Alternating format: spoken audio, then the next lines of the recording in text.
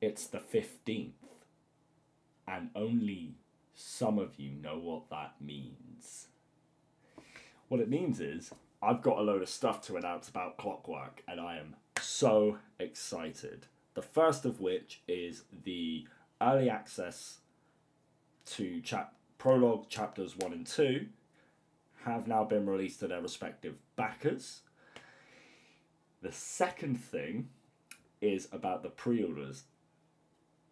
Now, the problem with the pre orders is that it takes three days to review. I actually wanted to have pre orders done for today, but I didn't take into account the three day review, so it might be the 18th, but it might not be. I will keep you guys posted on that.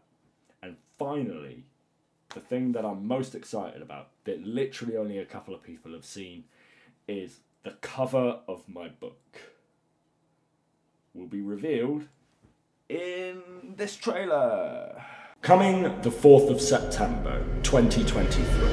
Clockwork The Order of the Hour. Detective Oliver Lovelace gets a new partner, Erin Samuels, and he is not happy about it. The two detectives are given a case that starts out as a simple homicide that quickly devolves into a cat and mouse game where the fate of Victoria hangs in the balance. Tempus non stat pro. Pre-orders available now from Amazon.